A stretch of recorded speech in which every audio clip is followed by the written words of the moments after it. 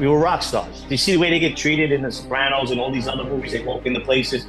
They can glamorize the life, and they still couldn't compare to what we were doing in that life. I grew up on 101st Avenue. 101st Avenue is the mecca of organized crime. I don't care about Brooklyn. I don't care about the Bronx. You're getting people that are coming to you, trying to persuade you not to be in that life. I wanted to be with the Gottis, the Gambinos, the Truth Girls. I wanted people to see me with them in my Brioni suit, my tape stick. I wanted to be that guy.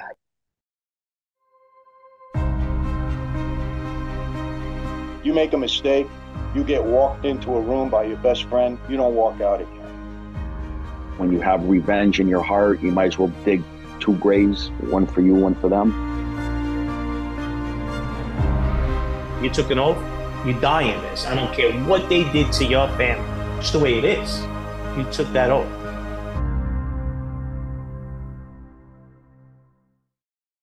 What's going on, everybody? Welcome to another episode of the Millennials Choice Show. As you know, I'm your host, Matthew Ablakan. I'm here with my co-host, Danny Ablakan. What's, up, going Danny? on, everyone? And we always got special episodes. I feel like that's so cliche. I got to figure out a different way to say it. I always say we got a special guest, special episode, but the reality is they are special, and we're very happy that we got these people on the show. And today, we've got a very special guest, former crew member of the Gambino crime family, Anthony Hootie Russo. Welcome to the show. Thanks, guys. Glad to be here. Shout out to everybody in Canada. Let's go. Yeah, yeah. 416 905. You know what it is. We got a lot of love for New York, by the way. I proposed to my wife in New York. There you go. Yeah. Yeah. So I, Well, I got a lot of. congratulations, right? You just had a newborn. Yes, thank you. Thank you very much. So we're excited about this interview. Um, I do a very bad job at asking our listeners and viewers to smash that like button and subscribe, but I got to do it. Please do that. It helps with the algorithm. We always want to bring this content to you guys. So please help us out. Leave us a comment, connect with us, and let's get right into it. Anthony, the first question I'd like to ask all of our guests is tell us about your upbringing, what your childhood was like, where did you grow up, and you know what kind of motivated you or enticed you to get into that life? Well, I grew up in a small section in Queens called Ozone Park. Um, it was right on the borderline of Brooklyn and Queens, the East New York section. And a lot of the guys within the five families came from East New York in the early days, which was the boomer. And I guess I'm considered Gen X, which I don't understand how any of this shit works. But we were the next, we were the next group, and um, that's all we knew. You know, I mean, I hear people talk about, you know, Beth Avenue, this place, that place, that it was a farm system. I just grew up with these guys as my neighbors, and that's who I wanted to be. And, you know, it wasn't the flashy cars, the suits, the money. It, that's mentality. You know, I always like to dress nice, look good. That's just something I grew up with. I just, you know, I'm Sicilian. You know, my father came here in the late 60s on a boat, you know, dirt poor with the American dream. So I grew up Sicilian. You know, I hear a lot of people say, if you weren't born there, you're not. Listen, I'm first generation Sicilian. My father barely spoke English. He spoke Sicilian in the house. We live Sicilian. We ate Sicilian. You know, these, we call them peasant dishes, which we ate every day, are now like big money in the restaurant. So the way we grew up is what they would call the Sicilian mafia brought here as a culture. So we were growing up hand in hand with them on a parallel, as you know, if you can understand that. So that to me was just the way of life. So I mean, I can fall back as I can remember, as like five years old. All I ever wanted to be was a street guy, a gangster, a mafioso, stand-up guy, a knock-around guy, you know, whatever you want, a hard guy. Those are the names, you know, throughout history that we used growing up.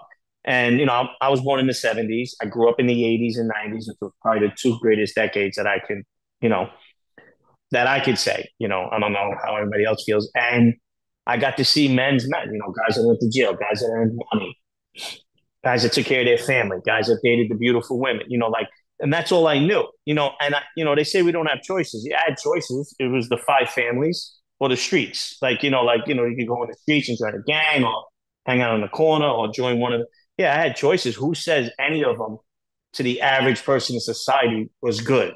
You know, this person that struggles and goes to school for, you know, 10 years after high school and becomes this and becomes that and then dies of cancer at 50. You know what I mean? Like to us, that was to me, that wasn't the way to go. You know what I mean? Like there was an old saying that, you know, somebody from the Gambinos used to say, rather live one year like a lion than 20 years like a turtle, you know? And for some reason, that mentality was always drilled into our heads because we came from nothing. You know, my father died with nothing, born with nothing, had nothing, but he loved this country. He loved being here. Um, you know, and he taught us our Sicilian heritage. And to me, that went hand in hand with the mafia, you know, and now known as the life in America because that word mafia is just something that the press uses, you know. And you know, I fought in the streets as a kid, stabbed in the streets, beat up in the streets, earned in the streets, fell in love in the streets, went to jail, came home, went back to the streets. And um, it wasn't that I was just, I don't know, I just maybe I was mentally finished with it or didn't like the way it was going. If things were the way they were 20 years ago, would I have ever got out? Probably not. Um, I'm one of these guys that don't come on here and say, don't glorify it. It sucked. I took the cat. No, no. There was guys in that, you know, listen, we were bad guys. I hate when people say, well, look what they did. Yeah, well, we were bad guys. We were criminals. I hate when people say only 10% of us were bad, only five, you know, there was rape. We were bad guys. We were criminals. What do you expect? Only 10% of us were decent. The other 90 were scumbags. Like, yeah, but I'm here to talk about that 10% that was good because all the guys that mentored me, all the guys I grew up with were good guys. They did their time. They were in the streets. They raised their families. And I look up to that. I don't look up to bankers and lawyers and doctors because being now legit, all these years that I've been legitimate, those guys are the, some of those guys are worse criminals than the guys I grew up in the streets. Hurting women, hurting children, robbing the system, robbing old ladies' pension fund. Guys in the streets didn't do that. We never hurt women and children. You know, we kept it, you know, and especially my crew, the only people we dealt with were people in the streets. And if anything happened to them, so be it. That's the life they chose. No civilians ever got hurt. No innocent people ever got hurt. No women and children ever got hurt. I can't speak for the rest of the life, but I can speak for the life that I grew up in, you know? And I'm not one of those guys that come on here and bash it. My mentors are great, you know what I mean? And I love every one of them. I'm here to talk good about them.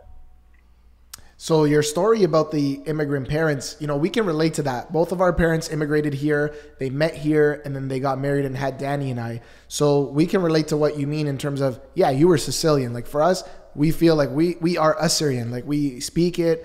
Our, parents now their English is better, but when they first came here, they never spoke English. So I get what what you're saying about the first generation.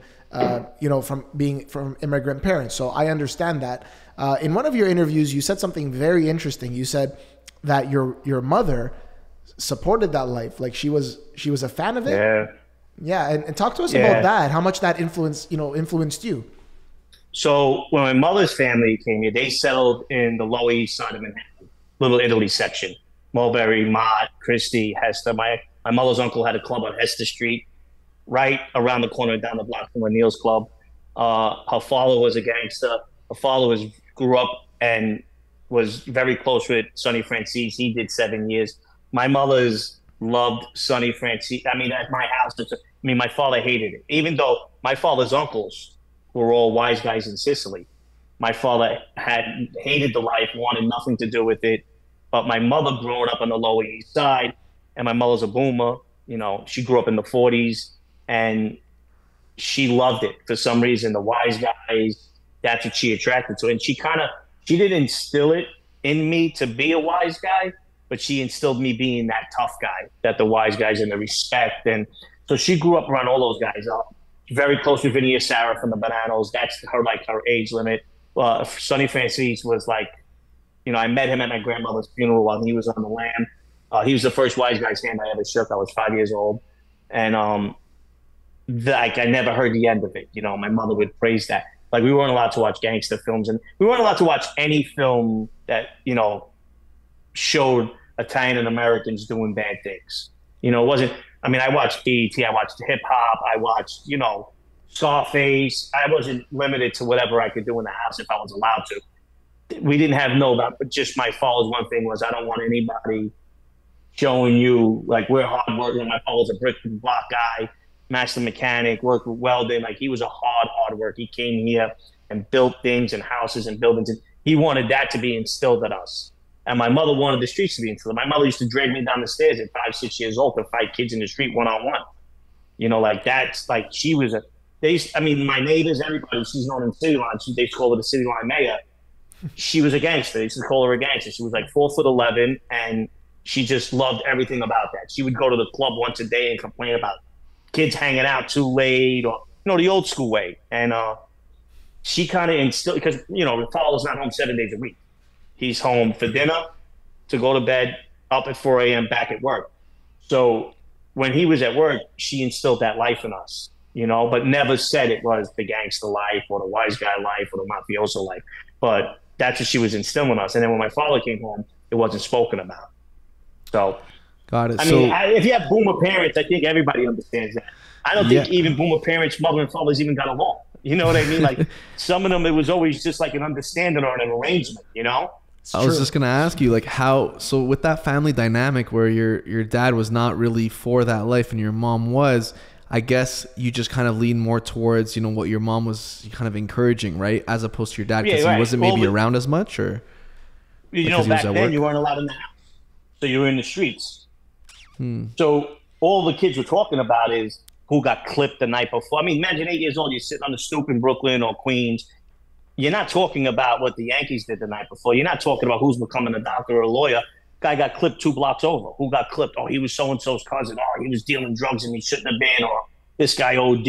Like those were the conversations at seven, eight years old in my neighborhood. So it's kind of hard not to. And then you get pushed by it by that one parent at home, and you don't got to be home until the street lights come on. You know what I mean? And you got to remember back then, everything in the 80s and early 90s, uh, you know, I become an orphan at 13. My mother dies at emphysema, and then my father gets sick shortly after that. And then I'm in the streets full time. So before that, you just, you're home when the street light comes on, you eat dinner, you know, you take a shower, you go to sleep, you wake up, you either go to school or you come home and hang out. You get home from school, you get right back out into the streets again. And there's nobody talking about who wants to play shortstop for the Yankees, who wants to become a lawyer. Who, yes, everybody knows you're going to wait, you know, in that life, in that neighborhood, growing up poor like that. Back then, it was limited choices. You're going to work for the city, you're to become a union worker, you're to become a street guy. You know what I mean? If your family got a few dollars and they can send you to school, you're not even hanging out with kids like us. You're away at baseball camp or this or that or after school or you know they're trying to you know raise you a little bit better, but is it's right in your face and you know it's not that it's not all you know because you do get outside. I used to go to Manhattan, I used to go to Brooklyn, you know, I seen other things, but for some reason, growing up like that, playing wiffle ball and stickball and stoop ball and manhunt, and you know, it was just that Italian culture was just so beautiful in the '80s. It's just it was so enticing that you didn't like anything else. got it. You you literally just used the word that was coming to my mind as you're sharing the story about culture. After speaking with a lot of, you know, people that were in that life, it seems to be the main reason why you guys wanted to join is the culture. Sure the money, the the women and the respect and the power, but a lot of it just seemed to be the culture. Like we were speaking with Larry Mazza and he he was saying that he came from a good upbringing, a very good upbringing and his family had his back all the way through, even during times when he got uh, when he got arrested. So very interesting. It's people were in love with the culture. It seems like almost. Yeah, I mean, those are the people I think don't belong in the life. Like if I had support at home, you know, I had the right clothes, I could go to school, I didn't have to worry where my next meal was coming from, and then I could continue my schoolwork and not worry about having to go out and get a job. We were dirt poor. I, I didn't have that. You know, I shared boots and socks with brothers and cousins. You know, if cousins' families were doing bad, they sent their kids over to us. We got sent away for summers to Miami. Like we didn't have it like that. And I always thought, because I, I I love learning, I love to go to school. I never had a problem in school. Um, you know, besides fighting, I had to special class because all I did was fight and cause trouble. That's just, you know, that's how I was built. But I like to learn. You know, I tried to go, like, I just didn't have the opportunity to come home and study and, and learn, you know, to go further my education and become something. I think the people that have their family support and they come from that nice middle class family should never even think about coming into the streets. And if that's not the culture they were raised in, they shouldn't like that culture. You know, me, it wasn't the money, it wasn't the women. I always thought it was the women. It was the money. I like beautiful things. I like nice things because I never had it. Never had sneakers. Then I owned 200 pairs of sneakers. Then I owned my own house. Then I owned five cars. Roll. I had it. And to me, I come to terms with it late in life. It was the culture. I love the Italian culture. I love the Sicilian. I love the Sicilian culture. I, really, the rest of Italy can you know fall into the sea, but the Sicilian culture that I was raised in, I seen from my father's perspective, and then I seen from my mother's perspective. They both, you know, she had the Sicilian outcast, and he had that Sicilian farm boy growing up, learned how to work with his hands, and not his mind, and I so I see and I loved it. I loved the hard working part, and I loved the easy part, and I, I just love the whole thing. You know what I mean? Like I'm a guy that can eat pasta seven days a week, you know. So, I, and then I so figured that out. so yeah, that's what I'm saying. But then I figured it out. It, it, wasn't the money, it wasn't the women, it wasn't the power, it was the culture. I was in love with the yeah. culture, and I'm gonna die being in love with the culture. Awesome. And and by the way, I'll add that we can also eat pizza seven times, seven uh, days a well, week. That's what it is. Now I've been asked that question. If there was one food you can eat for the rest of you, it comes back to pizza. You can eat pizza to. every day. Oh, pizza. It has amazing. to. Yeah, no, I love it. We love it. like when I was younger, and we had such great pizzerias in my neighborhood. I would go from Ozone Park to East New York into Brooklyn, and I got I, t- I had to eat three, three, four slices of pizzas a day because we had such great pizza growing up. And I just remember I was like, wow, how did I survive? My cholesterol, anything. like I just ate I had a slice. There was no way I went a day, even though I, if I went home and ate dinner, if I went out I always throughout my day running around in the streets without work. I definitely two, three slices of pizza a day. I'm going for pizza tomorrow, and I'm bringing a Portuguese guy with me. We're going to a very good, like one of the best Italian joints in our area. So we're located amongst a lot of Italians here, and we got all the the awesome restaurants. If you guys, if you ever get a chance to come to Toronto, we'd love to, you know, get together. Yeah, I heard there's a big. Uh, I heard they got a nice Sicilian fraction up there. They got lots of lots of they different just, spots. They just clipped. They just clipped the bookmaker, and then they just clipped the guy's daughter-in-law last night, right? A guy that got clipped back in 2013, his daughter-in-law got clipped outside the nail salon. They clipped a woman just recently this week in Montreal, right? Yeah, I yeah, heard yeah, about Montreal. that. Yeah, the. The, the Rizzuto family. Yes, and wow. those guys don't play up there. Yep, I know. So in that show, they're driving around in bulletproof cars. I mean, that's that that Sicilian mafia up there is no. They're like the the 'Ndrangheta back in Sicily. So in that show, the Rizzuto show, it's on Netflix. Um, I forget what it's called, um, but There's that show? show yeah, there was a show on it. What do you remember? What it's called? I don't. I, I, watched two seasons of it. Maybe Carson, you could look it up. Didn't look even know. I, yeah, I don't. I'm not big on those mafia shows. I've only watched The yeah. Sopranos once, and I thought it was terrible. Yeah, look up Rizzuto and look up uh, like Montreal and look up Netflix. Yeah. But Bad Blood, Bad Blood, Bad Blood. All right, I'll yeah. check it out. And so there's a scene in one of the in season one in one of the earlier episodes where they're actually meeting in Vaughan Ontario, which is where we where we are. So, really? Wow. Yeah, I don't. It's not. I don't think it's that like prevalent today. It's very yeah. underground and, and maybe legitimate businesses. I don't know, but yeah, that's that's where we are. So very fitting that we're doing. Yeah. well, listen, the Bonanno boss here in America got deported after he did his time years back, and he chose to go to Canada instead of Italy, and they found him in the river dead within like oh, a month. Oh, wow. And he was the boss. Damn. And you don't yeah, touch a boss, right? Yeah. Yeah, he was the boss of the Bonanno family in America. Wow. Yeah, wow. the iron the iron worker they called them. On that point, like, how does that work in terms of like the logistics? Because you're obviously like bosses are off, like you're not allowed to you know do anything to them. But does that apply for like other family nah. gangs? Like, no, no. Well, I think once Joe, well, up there is the Bonanno family. That's what you Joe Bonanno started that family years and years and years ago and then Joe Massino really kept those guys around. As you know, the Rizzuto was in on the hit from Donnie Brasco. That's how he got. That's how. Yes, he was part of the captains. He came here. He actually came back here, Canada, which I know you guys aren't doing well right now in government, but you have like this no putting people away for the rest of their life, no death penalty. So Rizzuto went back to Canada and then somebody flipped here in the United States and said he was at that murder. So that murder that you see in the basement, that was that was Rizzuto. That was Vito Rizzuto who did that for them. They called him in from Canada to do that, and that's how he got that big position down there. Joe Massino gave him that. But when he got he did that hit, he went right back home, took over that. You know, they, I mean, his father was already the boss, but got a lot more power because of Joe Massino. And then somebody flipped and said Rizzuto was there, and the United States wanted to bring him back. And Canada says, no, we're not sending them. They didn't want to send them back. And they said, well, if you come up with a decent agreement, I mean, it was like four murders. He did like six years. He came back to the United States. He did his time, Rizzuto, in the United States. and then went back to Canada, and then they clipped him. Then he got clipped, whatever. The father got clipped, and the son got clipped. I mean, those guys, they just clip people up there, and nobody ever gets in trouble for it. I, I don't know how the organized crime unit works up in Canada, but there are a lot of guys from here don't want to go there because they don't know who the players are. They use the Hells Angels or they use the other biker gangs, and it, it's crazy up there. It's the Wild Wild West. But yeah, Rizzuto came back here, did time for that captain's murder. Look into it; it's a great story. Um, and then he went back to Canada, and then I think he winds up getting clipped. And then, uh, or he was poisoned by one of his guys, or something. Yeah, it was like whatever yeah. it was. They killed Yeah. him, you know. Yeah, and then that, and it just known like anybody from the United States in the mafia that went there was just get clipped. Especially after Joe Massino, it was just the Wild Wild West up there. Nobody knows who's still running the family, who's still doing things because the United States don't have any. From when I left the life years back, the United States had nothing to do with them anymore after Joe Massino went bad in the early 2000s. So now it's just probably all the Sicilian factions, just nobody knows. If Canada has an organized crime team, they're probably the only ones that really understand what's going on with these. I mean, they just clipped a woman, guy's daughter-in-law. They clipped the guy back in 2013.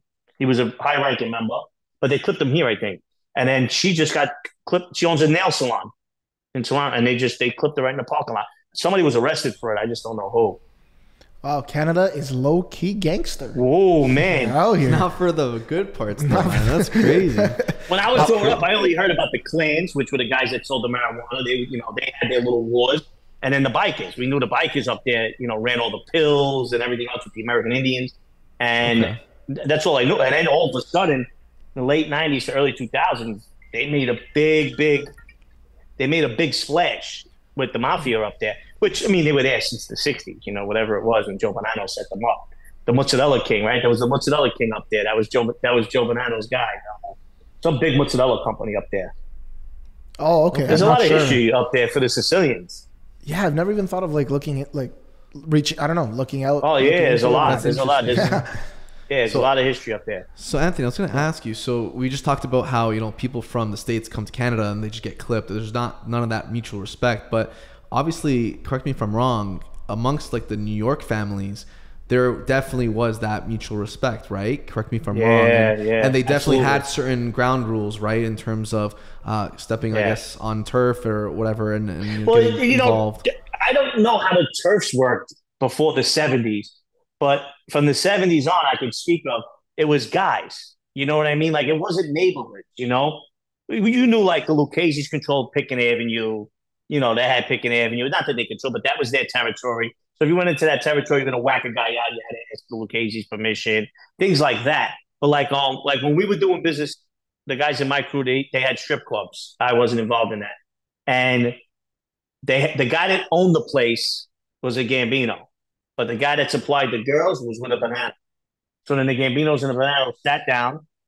This is how we're going to split it. You're going to get this much of the, you know, the bar and the door, and we'll get this much from the girls, and you got to come to an agreement or go to war because that was almost a war. If you, you know, one of the stories I told over one place, and uh, they come to an agreement, and that's it. And now it's a Bonanno Gambino. That's how it is. You know, like you two could be doing business, right? But you could have went to grade school with a Gambino, and you could have went to school with a Bonanno. Now you's going to business. Hey, hey, you're over here, but you're over there. You'll come to an agreement. And then maybe if there's an opportunity, over now if it's legitimate, I mean, the crew that I grew up with, we didn't get involved in legitimate business. That's why we lasted so long. No construction, no unions, no anything like that. E- even though I had friends that gave me no shows, it had nothing to do with the Gambinos. That's one thing why we lasted so long on the streets. We only stuck to the streets. But if you go into business and it's totally legit, we I can hang out with you. I'm a Gambino, you're good enough. I can hang out with you. The first time you take a bet, a piece of drugs is sold in there, or anything like that, then we step in. Anything illegal going on in that business, we got to get a piece of. Just because we're friends, you know. And I may not want to, but my crew's going to say you got to talk to him because he's your friend. And then your guy's going to step in and say, you know, you're not taking no money from my guy. And then that's how that all works. You don't just get that territory or that block. It's usually got from back then. Everybody's grandfathered into the streets. Who's a friend? Who went to school? Because that's how it worked. I mean, you know, people like, you know, when I got involved in the life, I was, you know, 18, 19, but I, my next door neighbor was a Gambino captain. The guy down the block was a Lucchese guy. So I would go into places with my friends that were wise guys now, you know, my captain, and I would say hello to wise guys, and they're like, "What are you doing?" And I'm like, but these guys are my neighbors. You know, I could go over and I could talk to them. I don't need to have a sit down. If I got a problem, I can ring his bell. I don't have to call for his cap because you know you got to call for the guy's captain. Like it's a whole that's a whole thing. Like like what you just asked me. If there's a beef or you want to clip a guy or a guy stole money, you got to call his captain. That captain's going to send you know an emissary to come down and talk to, and they're like that. I used to just you know, and then after a while they kind of use it. You know, do you go see this? I sat down with bosses, under bosses, without having you know to go through the proper channels because I grew up on 101st Avenue. 101st Avenue is the mecca of organized crime. I don't care about Brooklyn. I don't care about the Bronx. All five families had social clubs on 101st Avenue. My apartment building that I lived in was on 101st Avenue. So I could tell you every wise guy from the 70s to the early 2000s, 38 years I was on those streets. So that's like my relationship. Guys who come in clubs and they do introduce and introduce me. I know Russo. They didn't know my nickname was Hootie because I didn't get that till 91. I know Little Russo his whole life. Like, you don't got to introduce me to him. He lived down the block from him and he's this one's neighbor, or, you know, that's how it was. Did so, you find that helped you with, you know, everything yeah, that yeah, you had going on? Did. Because they all kind of, right, they knew you, right? They just knew you. And as a result, you didn't need an introduction necessarily, right? Yeah. So when I started making big money, like real money, it was towards the end of the mafia, but the mafia still had the stronghold. Like after a while, I was like, there's nobody coming. Like me, I, I still go back to the old neighborhood. I go to the St. Enough because they got nobody that's going to come after me that I can't go after. Now, don't get me wrong. I say this all the time. Some 22 year old kid trying to make a name for himself can walk up to me anytime and put one in the back of my head. That I can't deny. But I'll never be scared to face anybody one on one in this day and age. But when I first started earning big money, every guy was a serious guy. It wasn't like there was one guy that was a serious guy. Everybody was a killer. Everybody was a tough guy. Everybody was this. Everybody was. That's how it was. But what helped me was every nobody knew if I was a Gambino or Bonanno. They just thought I was somebody. They knew I was Sicilian. They knew I grew up on 101st Avenue. They knew I had wise guys as friends. They knew my mentors were all 15. There's a lot of guys that I stood with are in their 60s now because those were those guys I stood with every day. They took me everywhere, showed me how to eat, cultured me. If you listen to my interviews, I talk about that. I never really stood with anybody my old age, my own age until I got with my crew. And those guys, they were all my age. And then my friend's father was the captain, who was my mentor, who's in his 70s now. So everybody always thought, so it, it worked in my favor.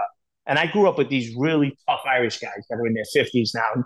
And they had mob connections, but they never got involved. And they used to say to me when I was getting into that life, you're going to go from making X amount of dollars to making less and then put yourself in the limelight. Why would you do that when everybody already thinks you're a connected guy? That eventually you're going to be like, you know, you already get that mentality. I get it from the Spanish and the black that I'm selling drugs with. And then in the Italian neighborhood, everybody knows I'm Sicilian. Most of the kids grew up at the knob. So they already think I'm in. So they're like, why would you want to put yourself now where the FBI is going to see you? You're going to make a lot less money when you get out of the drug game when you could just keep doing this and everybody, no one's ever going to, everybody already thinks you're kicking up to somebody. So nobody knows who to ask. So it worked for me growing up in that life, growing up around people. They were like, well, who's he with? Oh, he must be from 100. He's from 101st Avenue. He's got to be with Ron. Or he's from City so he's with Vinny. Or that's how, and it went like that for years. And I never kicked up to anybody. And I remember my Irish friends getting together, these tough Irish, Italian, Polish, Jew. We had like a nice crew, and these kids were the toughest kids in the whole neighborhood. So the mob didn't even bother them. And they were my mentors. They were all, you know, a lot older than me. They said, "Who you got it? You're making tons of money. You're going to be rich." And no one will ever know where to go. No one will ever know who to talk to, who to see, and the FBI will never look at you. You know, and they told me that before I got involved with these guys, and they were right. But I, again, the culture, the life, I didn't want the money. I wanted to be in the limelight. I wanted to be seen now in these guys' circles, not only the street circles. So, you know, I made that bad decision, but I knew when I made that bad decision, it was, and people were warning me. I knew. Now, people say, I wish I would have known. I knew. I wanted to be a part of it. And I, am here to admit it. People don't want to, oh, I grew up in it. I, I wanted it because I was already away from it. I was 18, 19 when I got involved in it. I wanted to be with the Gottis, the Gambinos, the Dealers. I wanted people to see me with them in my Brioni suit, my tape sick. I wanted to be that guy, you know. And I, I felt, I felt like it was my birthright, being a Sicilian American first generation.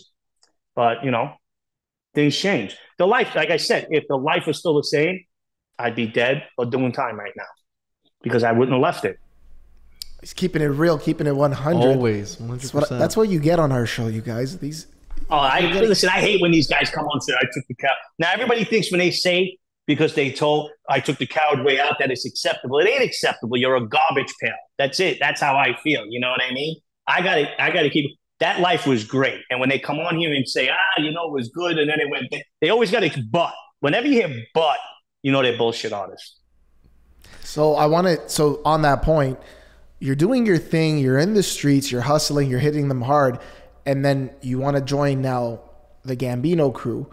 You said in one of your interviews those were like the rock stars. They were the ones just yeah. really, you know, doing their thing. And obviously with John Gotti, like we all know about the Gambinos. Rappers make, you know, they mention the Gambinos in their songs. Mm-hmm. So we we all know about Gambinos. Now, what age were you at, and and how does that process look like? You talk to somebody from the family and they initiate you, or what did that look like? Well, the thing was, it wasn't that I wanted. I never. I always said, now I'm in the streets. I'm dealing with drug dealers and tough guys and killers. Like I'm in, you know, early '90s, late '90s, and I always said, to see, you know, 101st Avenue before John Gotti was Jojo Corozzo and Ronnie Trucchio those guys were the rock stars. We they were the New York, the '90s New York Yankees. Like they that that was it. They were Madison Square Garden. That was the mecca. And then across Woodhaven Boulevard, down on 98, 99, 100 was John Gotti and his crew, right? But no one ever knew. Like John Gotti was the guy. Gene Gotti was the guy. Can he, like that whole crew was no joke. But then you had this guy Ronnie One that even before he was straightened out, he had 200 guys on the street. Anybody that got into a beef in Ozone Park, East New York, Woodhaven with somebody, that person was always like, I'm with Ronnie One on. I'm with Ronnie One You know, and I'll preach that guy's name till the day I die. He was the guy. And I always said, if there was anybody that I would go into this life for, now I grew up around Vinny Asaro's car. I know you know Vinny Asara was like the acting boss of the Bonanno Family. I know Vinny my whole life. My mother used to babysit his kids. Like I grew up in that club on Fallbrook Street in East New York. His club was in East New York. I was five years old running fireworks out of it. So then, you know, my mother probably thought, but never said it because she died in 91. She thought I was going to be a Bonanno, but that wasn't happening because I knew at a young age. I was what I was sweeping up at six years old in one of the Korean stores, and I would watch Ronnie come in with his suit and get, shake the place down. You know what I mean? Like I'm like, that's the guy. If I'm ever going to be in that life, I'm going to be with Ronnie One And we used to fight the kids that I grew up with, the Irish kids I'm talking about we used to fight. They were called 88 Park against Howard Beach. Now, Howard Beach was all wise guys' kids at the time. It was all Gambinos, Ruggieros, Trucchios. It was all wise guys' kids, not nephews, kids. Like straight up, you put hands on them, your father's going to come and clip you because that's how it was back then. But we were we were the last park in Ozone in Ozone Park that fought against them, and they just couldn't beat us. Hospital stabbings, baseball. It was bad. Till John Gotti's youngest son, Peter, who I was very good friends with, tough as can be. I don't care what anybody says. Finally called a truce. And we went down to his club, which used to be his Uncle Richie's club. It's right around the corner from his father's club. I was 18 years old. And we squashed the beef finally. It was like a beef that went on for tw- his brother, John, used to fight against the older kids when he was younger. Like it was that bad. Like it went back generations. And it finally came to an end. Now, before that, I'd never even stepped foot in Howard Beach. Now I got a condo. I'm living there. Like I didn't even know the area, and it's only it's walking distance from my house. We just never went into Howard Beach. That's just the way it was.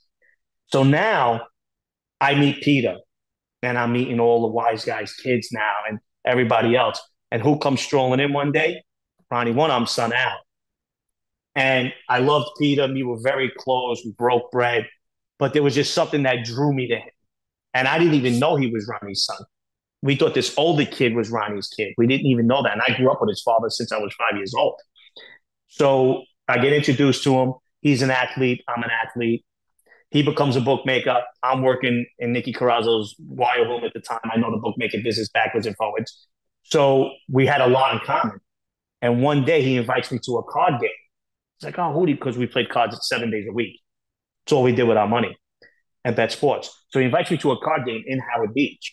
This is like my first. I didn't even know to get there. Like, how do you know? It's streets. It's. I'm like, I've never been to Howard Beach before. So I go there, and we're playing cards, and it's just like he, he only stood around certain guys. Very. Al was one of those. I, I always told everybody with me behind him and Al, he could have became the boss of the game. You know, fam. Very smart kid. Very smart. Very good educated. he could have went on. Like he could have played baseball in college. He went to Christ the King, had great grades. He was a pitcher. He threw like 90 something miles an hour. Great athlete. So yeah. So now he's got me there, and it's only three, four guys because he kept his circle close, and they were all smart. And then he takes me to a room. He goes, "I'm making this into a bookmaking office." Kind of like, do you want like out of nowhere? You know, like, do you want to join us? And then he invites me to play on their football team. And then all of a sudden now I stop hanging out with Peter and I'm hanging out with Al. And then his father lays down the law. Now we're going now with guys like that, like you see in the movies, everybody's always eating. It's not like that. You have a sit down, you sit down and it's over. When you break bread with them, you consider a friend. So a couple meetings, a couple strip clubs. We're not we're under 21, we're just hanging out. Then I get invited to his father's club. And then I get invited to eat. We break bread. Then I get invited to the house. So now it's building up. And then when he decides that he's going to straighten them out, he makes sure he's got a good crew around. Like very smart how he did it. And that's just how it felt. It was like, I'm going to be with his son. I'm going to protect his son, but he's going to be our captain. And that's how I'm going to get in. And that's like I sat down with the guys I was working in the wire with. They're like, what are you doing on drugs? You here, you're there. Nobody knows who you're with, what you do. You know everybody. How's the guy, your next door neighbor is a captain in the game? How's he going to straight, you know, how's he to shake you down? He knows he's six your five. You know what I mean? And if they all need, I've done favors for guys in the life in from every Colombo's my whole life. Who you can do me favor? This guy's bothering my sister or my girlfriend. Baseball bat this, you know, fight this. I've done favors like that, so it was never looked at. So I had the chance to stay under the radar and make a hundred times more money than I could ever make being around these guys. And for some reason, I thought that was a calling. And that's the way it happens. You know, we were just Italian kids that met in Little Peter's social club, and now we're in each other's wedding parties. Now we get married at the same time. We all have kids that are the same age. We all got our wives all got pregnant at the same time. If like we weren't, you know, we were serious guys. We like we went to the movies. It was with our wives. We all did it together. It was like that. You know, if we went away, we went away together. It was so tight like that. And it just happens growing up in a neighborhood like that. It's like if you grow up with a bunch of doctors and you're all going to school, you're going to be pre med. You know what I mean? It's just, I don't know. It just, that's just the way that neighborhood worked 101st Avenue. And Howard Beach, as everybody knows, back then was a mafia breathing ground. You know, every boss, there was a boss that lived at one time, and all five families lived in Howard Beach at one time together. Wow. And so, how old were you? Uh, 21, you said, or 18? 19. Well, I started hanging out at 18 with them. At 19 is when I got really close with them. And then it just took off from there. And we had a great run. We had a great one. We made a ton of money. We were rock stars. We were rock stars. You see the way they get treated in The Sopranos and all these other movies? They walk into places, they'd have our pastries ready, every pizza place, every restaurant, every nightclub, anything that was big. We went to China clubs on Monday, Life on Tuesday table service ready. Rappers couldn't get what we would. I remember with Gustafino's one night, and I was with the Bonannos. I wasn't even with the Gambinos. I went out with the Bonannos one night, and they got the whole upstairs locked down. And Jay Z comes walking in with two bottles of Cristal, and he's at one of the ta- like one of the tables by himself. I remember he left one. Baby got angry. He left one bottle, walked out. We were the rock star. Like they were. These guys weren't even doing bottle service yet in Miami the way we were in Vegas. We took over places, Atlantic City we were really doing it. Like it, there's no movie, there's no show. They can glamorize the life, and they still couldn't compare to what we were doing in that life. You know, we had brand new cars every year at 18 years old. You were going out to buy a stainless steel Rolexes. We were wearing Prezzies and masterpieces. Like it was just insane. And we did it. We did it out in the open. We didn't have jobs. We wanted to be known as the mafia. We wanted that. Take pictures of us because we knew there was gonna we were all going to jail. That was like the first thing when we sat down to break bread. You are all going to jail. You are all gonna get clipped. Your wives are gonna get hit on. Guys are gonna try to fuck your girlfriends.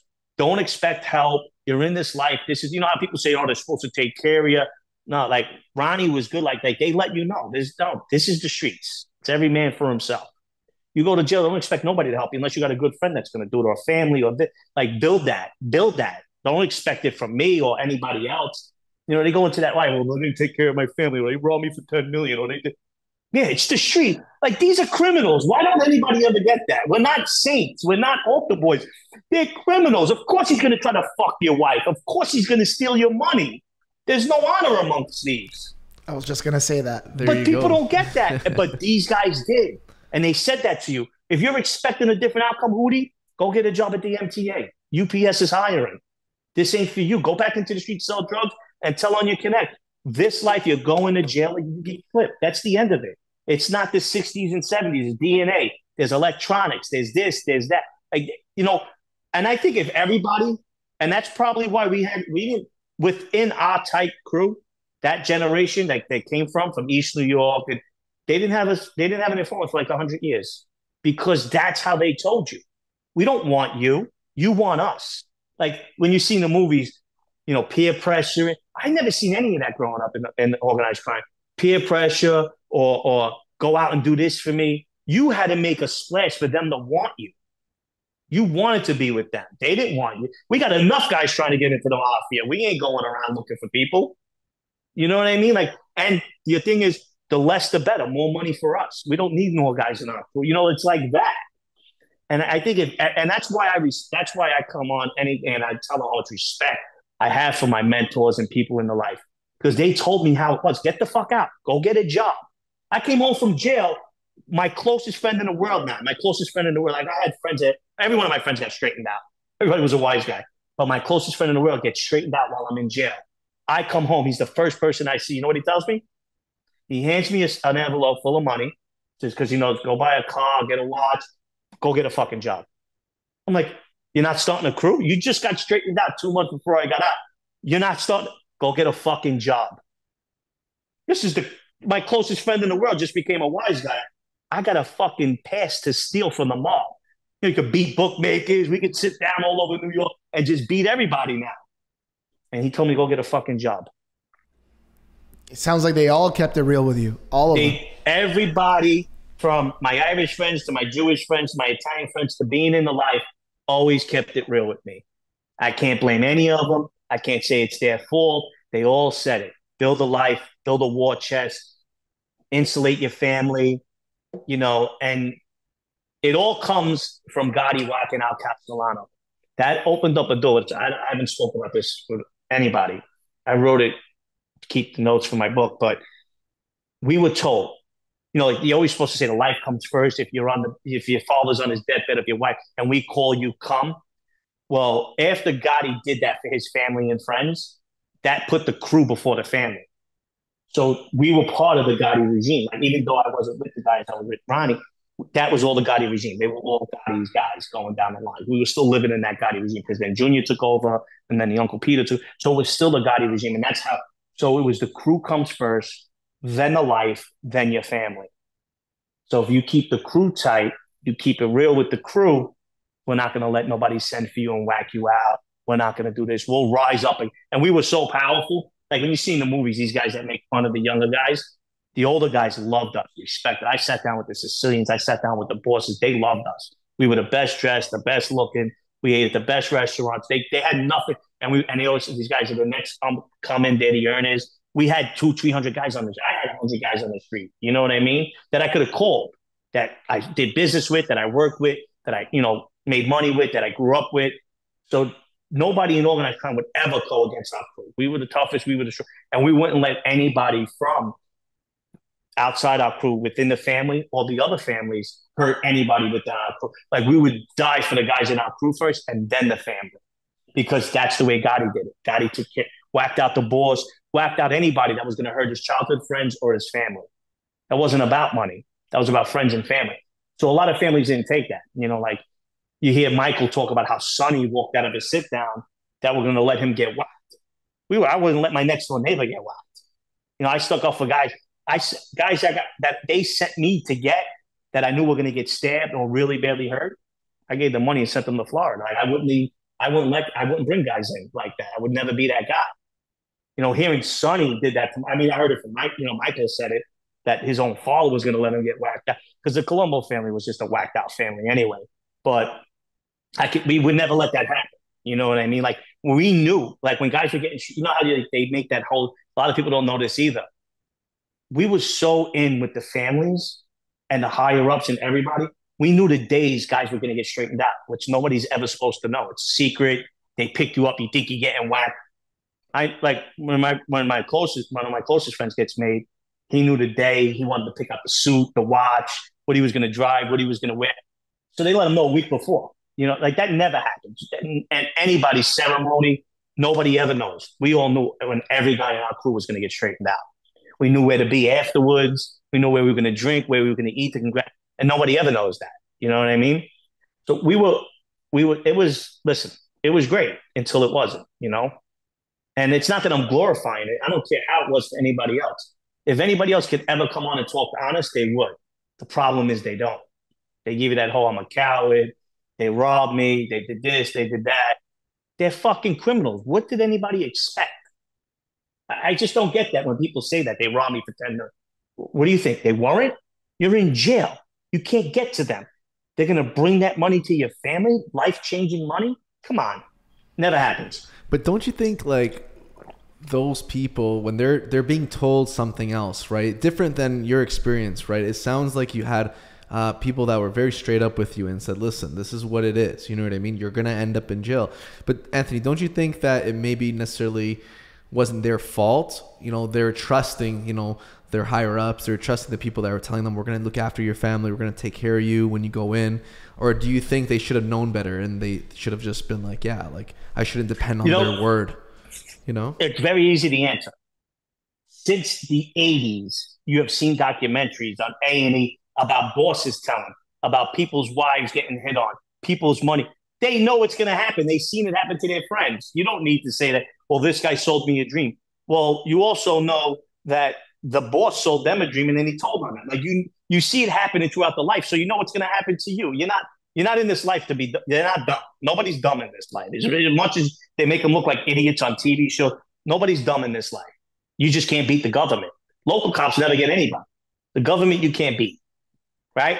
So you know that's going to happen. You've seen it happen. If you're in the Bonannos, you've seen it happen to the Colombos. You, you're watching it happen in the 80s. And come on, look, these guys, there was one murder on the Windows case in the 80s, the one that they used RICO against. Bruno and Indelicato, his father was Sonny, the one that got whacked. He was the only one charged, which everybody in to the early 2000s didn't even know that nobody was charged with. He was charged with Carmine Galante's murder, right? Him, he was the only person facing a murder on the Windows case. On the Windows case, they gave the bosses a hundred years apiece, right? A hundred years apiece for stealing two dollars a window. They got hundred years apiece. He got twenty years for murder. He came home. He's living his life. These guys got hundred years apiece. Where do you where do you think anybody's playing fair in this life? How do you give these old men for stealing two dollars a window from the projects in New York City, hundred years apiece for running a criminal enterprise, ongoing corruption, and you gave the guy who committed murder of a of a boss of a family twenty years. How does stealing money trump kill, taking somebody's life? You know, you can't win at this life. You Can't win. And this is 1980. Like we're not talking about, you know, bosses and guys were flipping way before in the 70s. And it's just with the media and the way we evolve now as a country, we see it more. There's not more rats today. There was just as many back then as there is today. It's just more public today. So you've seen all of this. Like the whole point is there wasn't a rat on that. Well, the one guy wasn't even a main guy that got 100 years for all the bosses in the family, just a regular guy. But my point is, we see this evolving. So you can't sit here and say, oh, I didn't know they were going to rob me. Are they trying to fuck my life? What are you talking about? It's 1999. They've been doing it for 30 years. You didn't think it was going to happen to you? Fair Come on, enough. that's just an excuse. It's just an excuse. I go to jail. I expect people to hit on my wife when they see her out. I go to jail. I expect people to steal my money. I don't care if it's for a year or 30 years. I expect that because the, we're not playing church choir. This is real life gangsters. And it's New York. It's not Vegas. It's not Chicago. It's not Cleveland. It's not New Jersey. This is the mecca of organized crime, on underground, gangland, New York City, the roughest, toughest, more murderers, killers, and drug dealers than anywhere. And you think they're gonna come up there with the priest and bring you a bag of money? Like, well, where you living? So I, I, just hate when I hear this shit in these interviews with these guys. You try to fuck my wife. They rob my money. Okay, so it's supposed to happen. Yeah, yeah, yeah. And I think I think with your guys, your mentors, they just said, "Look, this is what it is. take it or leave it. You like it, you don't. Doesn't matter. This is what it is.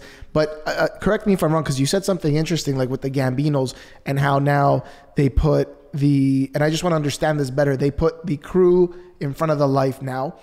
Was that because the Gambinos were so large that at some point there was an ambition from the higher ups of we want to run all five families? Well, that always happens. That was I don't know if how this works is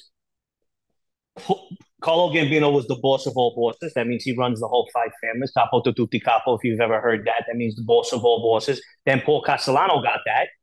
Then John wanted it. So what John was, he was backing um, Joey Scopo, which was going to be the underboss to Vic Orena. Vic Orena's fraction was going to take out the Persico fraction. Then John would have took out Vic Orena and Joey Scopo would have became the boss. That's one vote for him to be boss of all bosses. Then I don't know if you know this, but John was in talks with Joe Massino to change the name of the Bonanno family to the Massino crime family. No, they didn't know. So that. then that becomes the Massino crime family. But what happens is first he's got to vote John in as the boss of all bosses, and then John can have the power. So if that would have all worked out before John got pinched, he was trying to become the capo de tutti capo. What happened with why the crew before the family was John did it so we could do it. It was just an opening for people to say, fuck you, I'm going to protect my friends and family so we can earn more. My, my friends and family know that I'm going to protect them like that. We're going to earn 10 times more we would have earned if this is the way we were doing things. But now they know we're all protected. You get what I'm saying? When sense, something yeah. happens, it's always an opportunity. You know, like somebody makes, like what just happened. You know those those Oculus glasses. They made them ten years ago, right? They were two hundred and thirty dollars. That was just Apple's opening to make them better to charge four thousand. So it's just an opening for people to do what that everybody in all that crime they do it to benefit themselves, nobody else, nobody else, not the crew. I'm making my crew exclusive because they're going to earn more money for me. Not because I want to protect them. I'm just making them think that so they earn more for me. The old saying is, I feed my guys enough to survive, but not too much where they don't need me anymore. So I make them think they're insulated and protected from the rest of the family, and they'll earn more from me. When we could do whatever we want anyway, because we're the toughest, roughest. You know, he was the most powerful Gambino captain in the whole family. Most guys on the street, in the streets, not involved in anything else when you start moving away from the streets, you lose that power. Like Paul, Paul was away from the streets, so he lost that power. His underboss gave him up. You know what I mean? Street boss. So that's what happens, and you know that's just evolve, right? We all have to evolve with the time, right? They, you know, no more in the streets shaking down mom and pop stores because everything's going corporate. So we got to go online and steal money. You know, it just evolves. You know, organized crime just evolves into whatever direction you know the country goes in, the world goes in. That's just, you know, that's why the, the biggest gangsters in the world are the Balkans. I mean, you go up there, you know, never before was there billionaire gangsters. Now there's billionaire gangsters, the Balkans, the Albanians, you know, they just evolved with the country. They evolved with medical fraud, online fraud, you know, online drugs. You know, they just, those guys just took it to the next level, but they got to be on the run for the rest of their lives, like the Sicilian bosses, you know? So it's just with the times. And like anything else. All the ethnic background, the Mexicans, the Albanians, they'll just replace the Italians. Yeah, that makes sense. And and you since you just mentioned Mexico and the Mexicans, you obviously have a very interesting story. Uh, it was a oh, an am, it was an ambitious time in your life. we'll call it that. to say the least. Ambitious time, and you you you have this idea. You want to hook up with one of the cartels down there, and you yeah. sneak into Mexico. And then, uh, you know, touch on also, if you can, you said that when you had that meeting with that one guy that you really saw, like, okay, this is for real. Like, we're for real, but this is really on a different level. And you didn't want to mix up with them anymore. What was it about them that you just said, this is a whole another level of, and I don't want to get involved? Yeah, I mean, I was out of my league. I didn't even get to meet with any cartels. I just met with a guy that was involved one of the guys that just happened to be involved maybe on the tail end that happened to get out and all the gentlemen. But like I'm like, I'm 19, I'm making money, I can do this. I'm dealing with a connect already, Dominican. You know, you you do hear about because I'm listen, you know, they talk about the Mexicans, how they kill your whole family, they take the bliss. They don't realize I've been hearing those stories my whole life. The Sicilians are the ones that started it. The Sicilian necktie came before the Colombian necktie. You know what I mean? Like they used to kill the whole bloodline on the boys' side so they couldn't produce any men to go out and get revenge against whoever hurt them. Like that's a the Sicilians did that since the beginning of time. They take out the whole family on the male side bloodline. Like that's just been, you know, in the front of the whole town. They kill your family. So I know that. You know that. We hear it, but it's like anything else that your parents used to tell you. You get a big plate of food that you absolutely love. You like put more, put more. Your eyes are bigger than your appetite. You know what I mean? Yeah. Well, my I'm pushing a key here, ten keys here, my biggest deal. You know what I mean? Now I'm thinking I'm gonna go into Mexico and get maybe ten thousand less a key, but I'm not realizing you got to take fifty, a hundred, a thousand a month. Like I'm not even on that level. You see it in the movies, you hear it, but you just that's it. I'm a tough guy. I'm a gangster. I'm in the streets. I'm ready to hurt. You know, you get these things that people tell you in the streets, and you're passing all those tests. Let's go to Mexico. Like I brought somebody with me who spoke Spanish, and they didn't even give that guy respect. You know what I mean? He was dark as the ace Like it's just, it's a different world. It's a different world, and I almost went into Juarez. Now I heard about Juarez, but this is er, you know it's the '90s, so it is really not publicized that the cops don't even go into Juarez. Like I didn't even know that yet. Like they hang people from the bridges in Juarez. And I'm a gringo. The first thing they're gonna do is try to get money for my family. And then once they realize I'm poor, they're gonna just start sending body parts all over Mexico. Like I'm not even thinking like that. So we wind up hooking up. Thank God I did bring somebody who spoke Spanish, but and they detoured us out of Juarez. And I met an old guy on a farm, and he was something of like a Sicario, like a retired Sicario, like that. And he sat me down. One, he knew I was Sicilian. Like, I mean, I was even talking even worse with my hand, everything. At the, the tanks are the greatest things in the world. And he gave me the greatest story. You know, like, even if they were going to deal with a gringo, he wouldn't be Italian. He wouldn't be like you. You're probably involved in organized crime. You'll bring more heat. The first meeting you go to, they'll chop you up into pieces. Like, this is not even going to work for you. Do yourself. And then, you know, he broke the whole thing down for me. You going to take a thousand keys a month? What's that? I'm like, a thousand keys a month. What's that? I'm like, 10 keys a week. He's like, 10 keys a week. He's like, why'd you even cross the border for that? Like, you know, like, got I got my first kick in the ass lesson, you know, like, get the fuck out of here, kid, you know? And he schooled me on that, you know? And like I said, I came back in and it was just like, all right, you know? And then that's when I got into, I went to Canada and got into the weed business and it was just you know it was an eye opening, and it was everything that you'll hear now in movies and TVs, but back in the '90s before any of this stuff was really public. You know, you can't do this; they won't work with you. They pay, you know, like I didn't even know the you know the story. They gave the kid a hundred dollars that got on the plane. Pablo gave the kid like a hundred dollars of American money. It came out to to get on the plane with the bomb that blew up all them people. He's like, if they got a kid that's going to do that, in Mexico, it's even worse. A Hundred dollars, send their kids anywhere. They'll take out your family, your friends, your girl. They'll just come to America and just start blowing things up for this guy for a hundred dollars. Like that's how poor it was back then. I mean, it's still like that. You know what I mean? And then looking back on it now, seeing all the footage from back then, it's like, how did they even make it out? I could have just walked into that one wrong person, and I had a lot of money on me. You know, I you couldn't see it.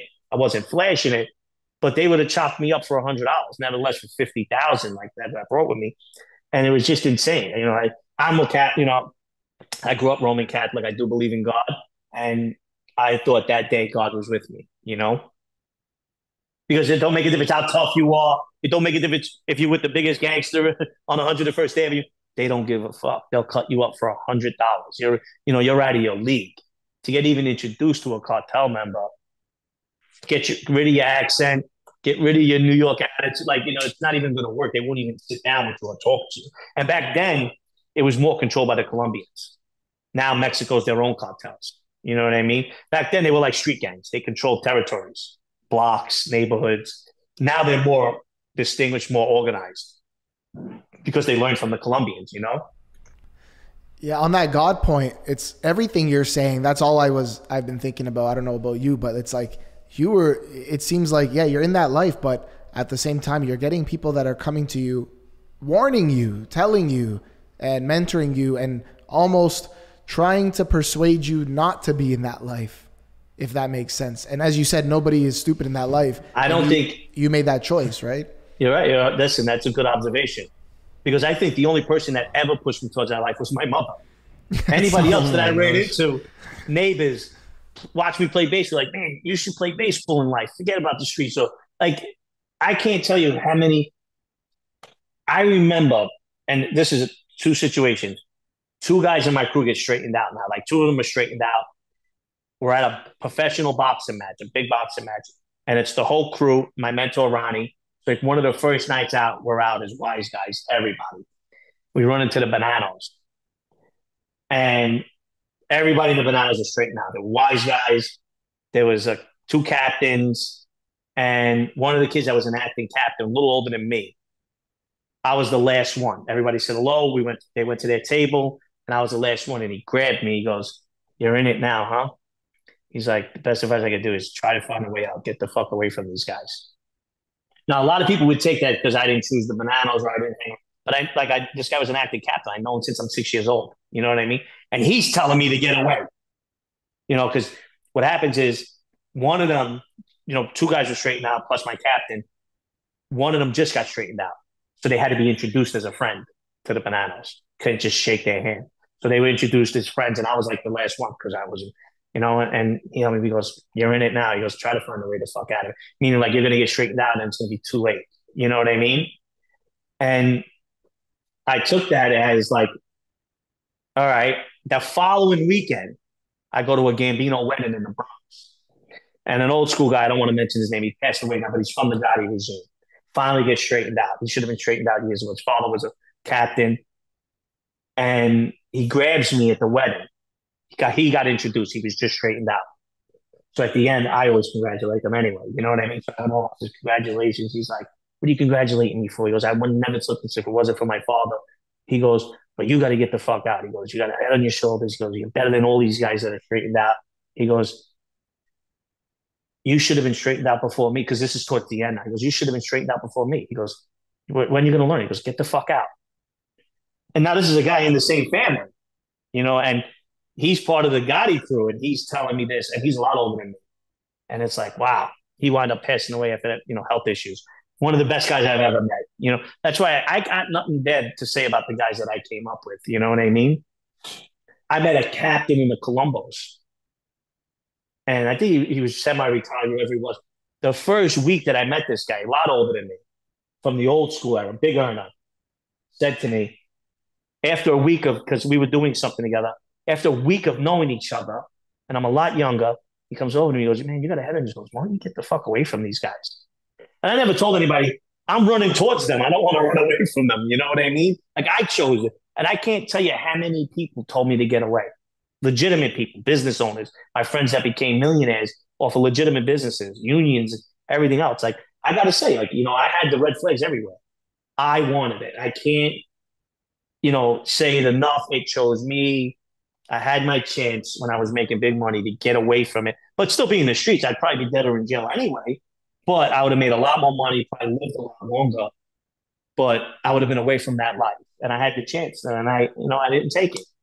You know, and I, I you know, I hear these stories from other people, and I'm like, how can I have so many people telling me to get out, and you know, you guys never had that? I got to think they had had somebody in their life telling them to get out. Well, maybe, you know, the other thing is if you talk to anybody in the life, I was very likable. I got along with everybody. I did business with everybody. I was friends with everybody. I tried to help everybody. I never tried to fuck anybody. There was always enough money to be made, so I thought. But a lot of these guys in the life never seen real money. So that's why they get greedy. That's why they don't help other people. They never seen real money. They never went out there and really got it. They always depended on other people. I went out, I seen real money. I knew what real money was about, and I thought there was enough for everybody. So I got along with everybody. I really I didn't have enemies. Like the guys in my crew, they really didn't like anybody outside our crew, outside the family. I got along with everybody. Guys in the Bronx, guys in Brooklyn, guys in Jersey. Didn't make a difference if they were Lucchese, Genovese, Gambinos. Didn't matter. It's almost like two themes that I that I see, and I, I don't want to make it a religious podcast, but it, it you know the man upstairs has a plan for you. Like there was all these things, and he's protected yeah. you this whole time. And number two, it's almost as if, uh, you know, when they say reverse psychology, all these people telling you get away from me, get away, and as you said, you're running towards it. Int- very interesting. Very interesting. Well, and, I mean, either one of you's gonna have it, right? When you get your mind made up about something, right? So you set goals. Like people don't have A, B, and C plans, right? I was always that guy. I grew up poor. I didn't have anybody to run to to help. I always had to have a plan A, B, and C. So my plan A was like, listen, I'm gonna stay in the streets for as long as I can. I'm gonna make money. Gonna, you know, make friends, not enemies. You know what I mean? And then if I have the chance to go into the life, I'm only gonna go into the life with like I had a plan. If I'm gonna get into life, it's gonna be with this guy. So to me, I'm following the path. I met his son. He likes me. We get along. Play ball together. We started teams. We have a bookmaking. We did this. So it's like it seems like that's it's happening the way plan A, B, and C was supposed to happen. You know, like I remember when we all got pinched on the big case. We were we were together for the last time at booking, and my friend who was a captain now says to all of us, "We'll probably never see each other for the next. We'll probably won't see each other for the next twenty years. Everybody keep their head up, take care of your families, and we'll probably some of us will probably not even get along anymore. Like we knew the reality of it and we never seen each other since that day. You know, I mean, it's 15 years later, whatever. Like we always went into things like that. You know, we were all sitting around two years before we got pinched and said, when they come, none nobody in my crew was a drug dealer but me. But the way they made money, the way they spent money, we used to always say when they come, they're gonna come like with dope, like we used to say papanya. We're gonna come like we're papanya dealers, they're like gangbusters. They're gonna come at us like we're dope, dope dealers. That's the way they're gonna come. Not like we're organized crime, not bookmaking, not boxes, not, you know, uh, blackjack machines, not card games. They're gonna come like with Babanya did. That's how they're coming for us. And they're gonna give us a fucking they're gonna give us we used to say football numbers. Football numbers is like 56 years, you know what I mean, 33 years. It's, and we we would we would sit around and talk about this while we're breaking bread.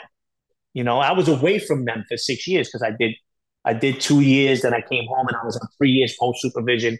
So I was away from them and they were doing paroles. This was all state bids for little stuff. And I was away from them. And we were sitting down and having dinner after not talking for almost two years just because of legal things. And we go right back to our conversations. Yeah, they'll be here. They're going to forget about these little state bids. The feds are going to come and they're going to come like Babani does. We're driving Lexuses. Now we're driving, because it was a thing. You don't drive anything foreign. You don't drive Mercedes.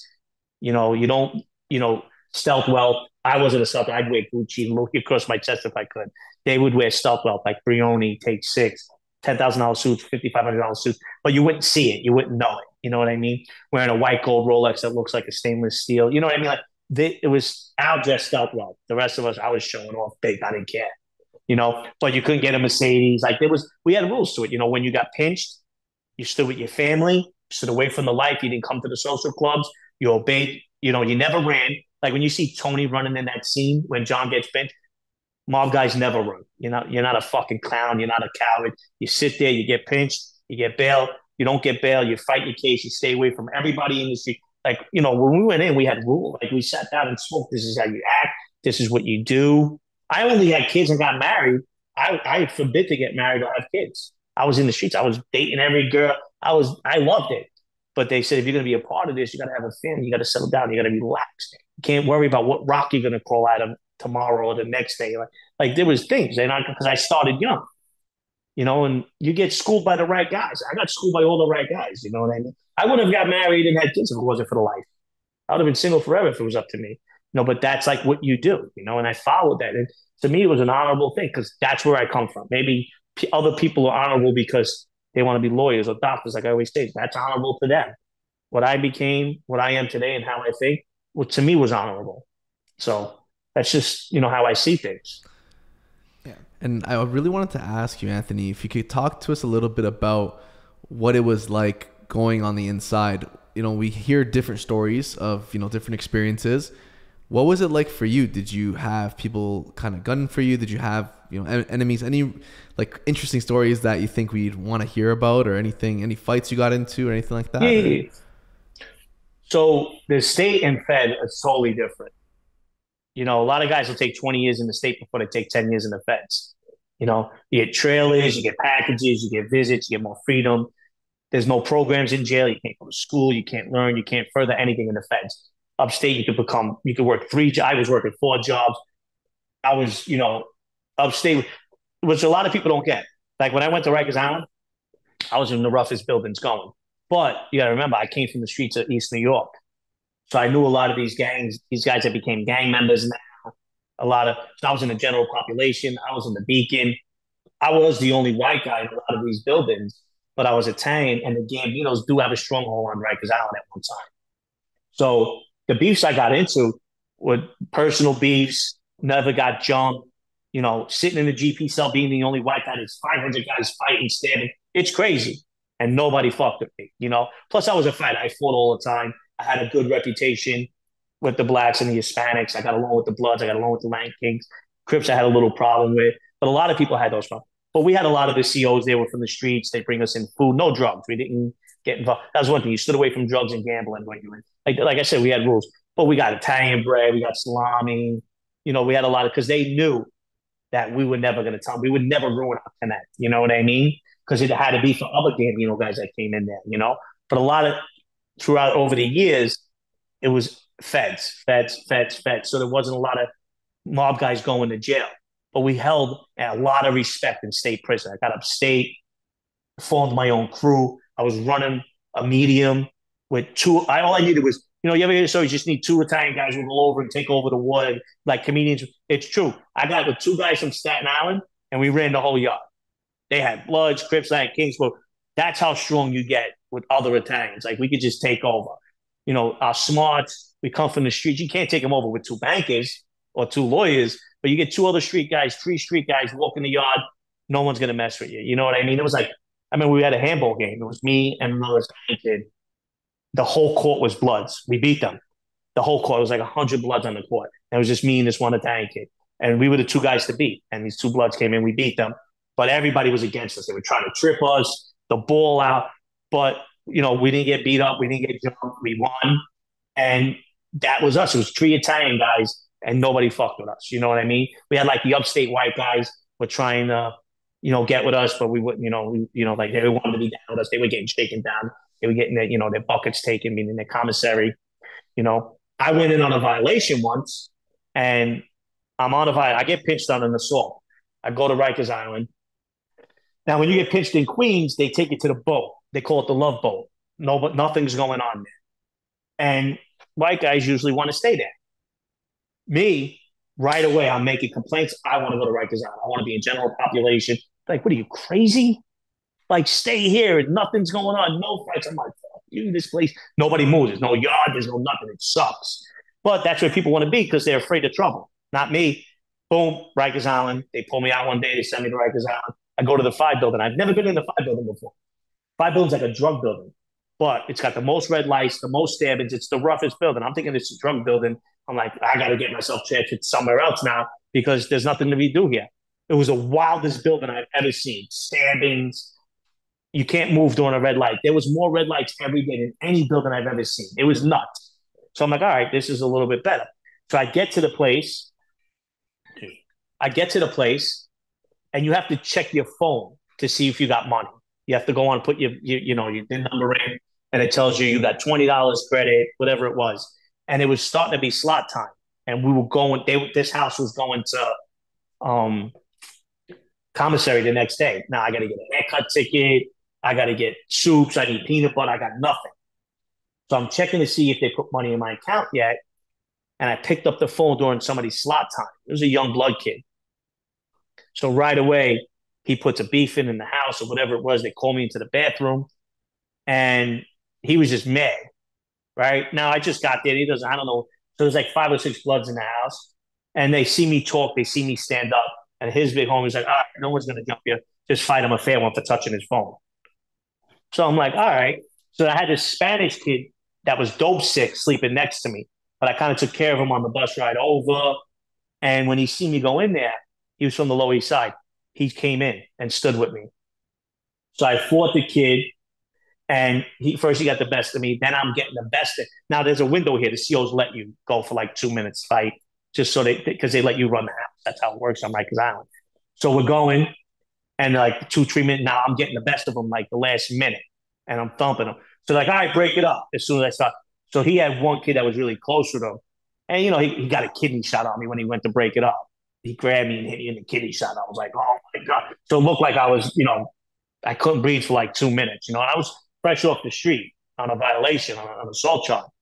You know, that's how if you present yourself well and not even if they think you're a mafia, but they kind of thought that's how they'll treat you. But if you go in there and you look like just a regular white guy and you're trying to be something, they would have probably stabbed me or shanked me. But how I presented myself and I was willing to fight and I did fight, they didn't. You know, the big homie broke it. Yeah, his friend got a shot in. You know, it was unfair.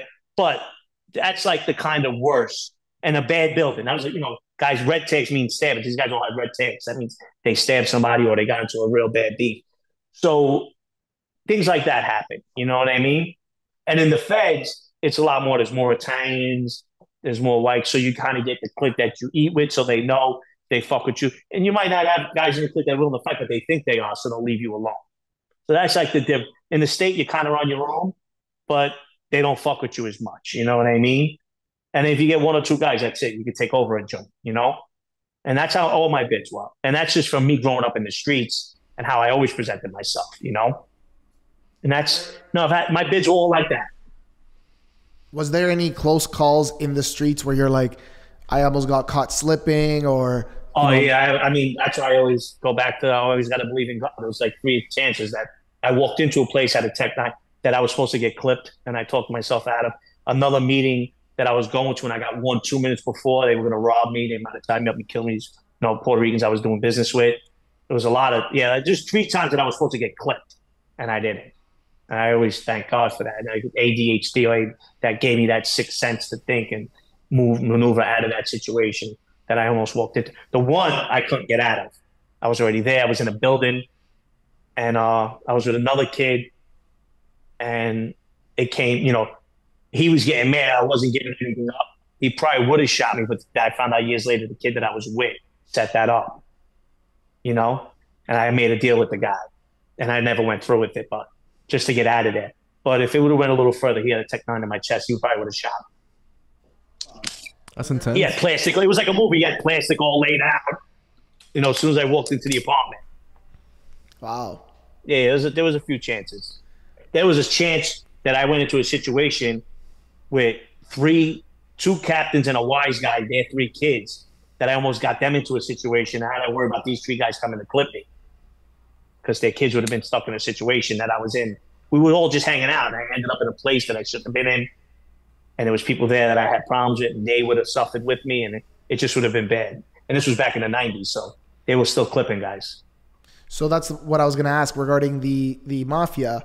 Because you were involved with drugs and they that was always a no-no for a lot of them it's like were you ever fearing for your life from you know potential threats from the mafia because you were doing drugs like selling drugs? It held me back from a lot of things. They never put me on record. I was never on record with the gambino family that's why i never thought i would get pinched in a rico case because i was never on record with them and it was known but my contribution to the crew was nobody else could touch drugs so nobody outside the family really knew what drugs I was selling. If it was pharmaceuticals, marijuana, coke, they always would figure it out. So that was kind of hard. But my captain knew because my job within the crew was to shake down drug dealers for him. So I took over his drug dealing. Like a lot of people think, so like growing up, he was known as the biggest drug dealer in my neighborhood. So I always thought he was this big time heroin dealer. And when I got around him, he didn't know the first thing about any drug. He never dealt drugs. He shook his thing was shaking down guys in the street because drug dealers feared him. So all he did was shake down drug dealers. So they made him a drug dealer. He was never a drug. He went away for you know life for selling drugs, and he never he didn't know the first thing about drugs. He shook down drug dealers. Therefore, with the RICO Act, you become a drug dealer. The way it works, it's this. I tell you, if you really look at it, it's the scariest thing in the world. You wouldn't even rob a pack of gum. The way RICO works. So my job was they weren't going to pay anybody else in the crew these drug deals, but I had a reputation in the streets, so he used that. So now I can go around because he was a May guy at the time. Then he became a captain, so he couldn't do that no more. So now I my job was to go through Brooklyn, Queen, and shake down all the drug dealers. I guess So- it kind of made sense that way. It benefited Yeah. you both, right? Yeah, he was a smart guy. He he knew how to move the chess pieces on the board. You know what I mean? Put me in the crew with all these Ivy League kids that grew up around his son. These are all these are all silver spoon. You know, we call them third base. A lot of people don't know about that. Meaning you're born on third base. You know what I mean? Like you got everything handed to you. You just gotta walk on home. You know, guys like us were born at the plate. Hmm.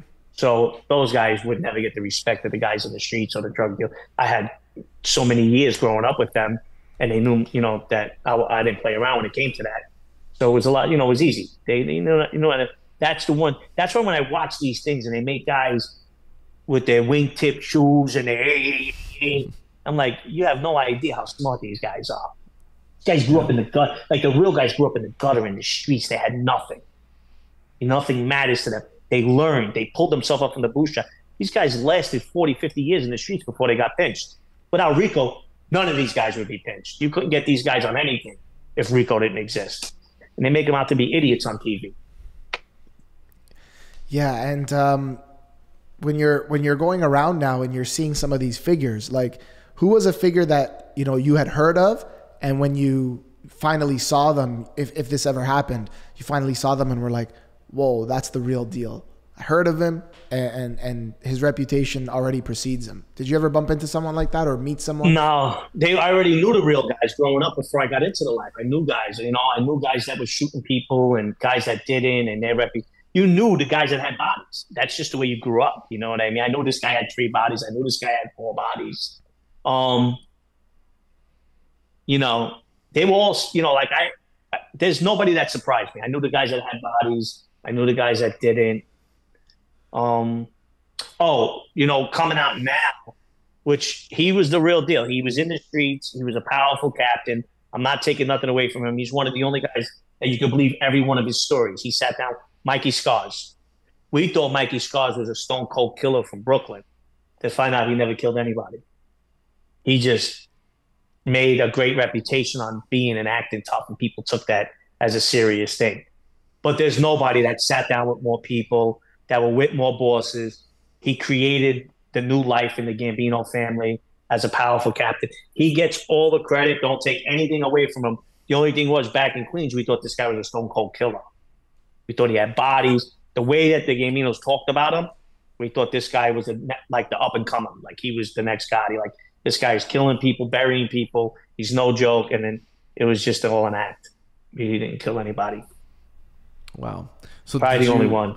So did you guys like still respect him to that same magnitude? No, we didn't find really? out till, till, we didn't find out till after he flipped. Okay, got he it. Didn't plead to no bodies let's talk, let's talk about the, the, the flipping and the cooperation and and however you, people want to phrase it because one of we get so much hate on towards some of our guests that we've had on our YouTube channel and I respond to all the comments. For those of you guys still listening and watching, I respond to the comments. Be nice on YouTube, okay? and so they're responding and they say some crazy stuff about certain guests and specifically about like the ratting and the snitching and this and that. And then when you talk to the guest, and you ask them about it, um, everybody tries to justify it, you know, in their own way and rationalize in their own mind why they did or said what they did. So you you speak with um, someone who goes, "Yeah, I never I, I never sent anyone to jail. I just gave information on you know some things that I thought I knew about or whatever the case may be."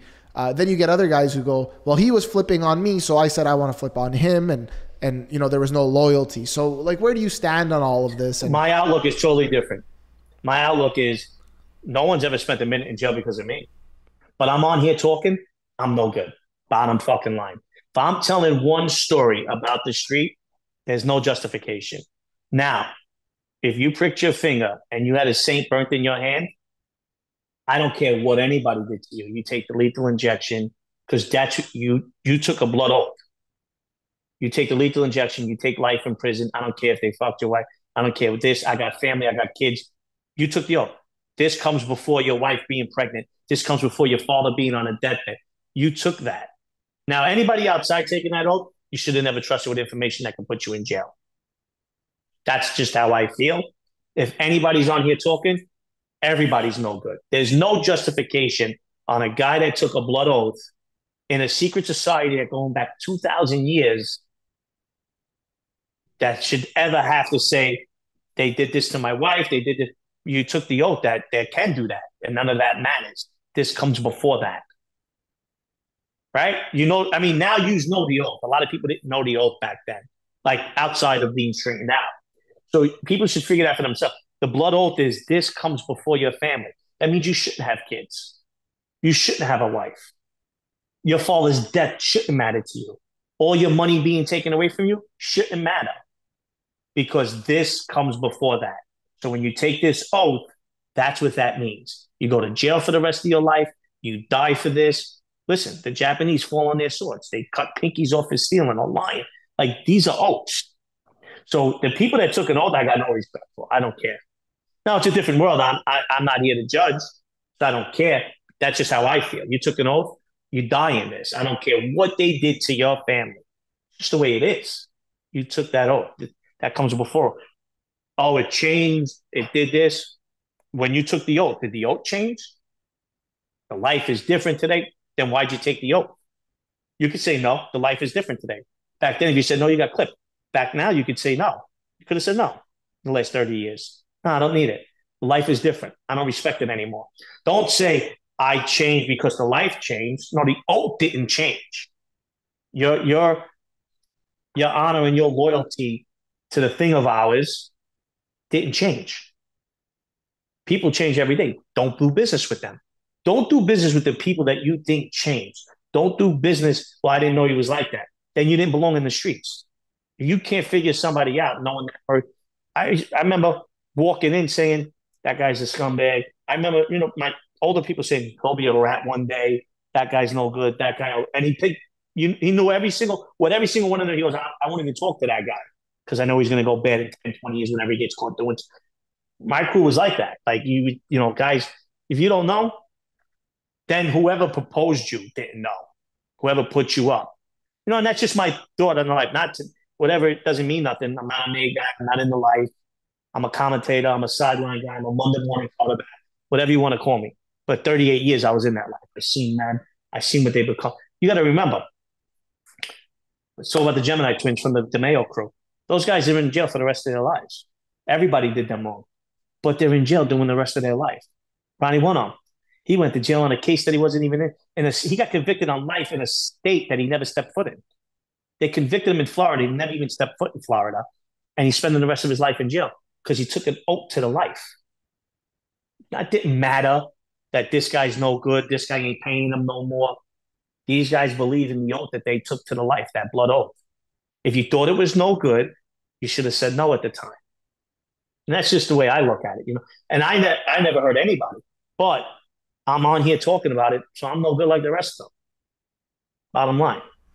That makes sense. I great wanna, perspective. Yeah. That's a really great perspective. But I just want to ask you. So let's say, for example, like somebody takes an oath, right? Like, what do you have to say to someone that takes an oath, and you know they they they pledge their loyalty, and then let's say the the boss that you know pledges they pledge their loyalty to flips right and they go against um, you know everything and just so that they don't get life in jail and then that person is like ah, okay that doesn't make sense now they're not loyal to me why should i be loyal to them what do you, what would you say to someone like that because honestly like it, if it was me it wouldn't really make sense to go to life for somebody or for a family that he's a snitch. No, no, no. I have a question. He's a snitch. But like, if you're gonna no, face just life, because you're not pledging loyalty to that boss. That guy might not even have been the boss when you got pledged. It's the well, life you're pledging it it's to. the life you're pledging yeah. to. That guy Anthony, comes after him. That guy, what Anthony's saying, there's like, never one man. No, so the first thing they tell you, no one man is above the life. The boss, nobody. Because you're pledging your allegiance to all five families at one point. You know what I mean? You're mm pledging your allegiance to that life with Meyer Lansky and Charlie Luciano, and these guys made nobody, you know, Knights of the Round Table. Nobody sits at the head. You know what I mean? That guy, that boss is a CEO. It's a revolving door. You know what I mean? That boss is going to come and go. You feel a certain way because you grew up with that guy. He's the guy that made you. Yeah, that's fine. But you're told the life comes before anything. This guy here, he's the head of your family. He's the father. That's but he's not bigger than the life. It's the life you're pledging to, but this is your father who you answer to. Everybody has to answer to somebody. Then that boss has to answer to a committee, right? Stock shareholders. You can put it anyway. I've put it into meetings with people that are CEOs and CFOs. into I put it into like a, a business setting. So you got to answer to a board of directors, stockholders. You may be the CEO and the boss that your guys are answering to you beneath you, but then you take that and you got to answer to a board of directors, which is a committee, not one person. And that's how the mafia. That's why they structured it like that. Know, the president turns around and gives information, Biden, his son, to China, whatever they do. I don't follow politics, but just say that happens. You're going to say the president failed me. You didn't even believe in that guy.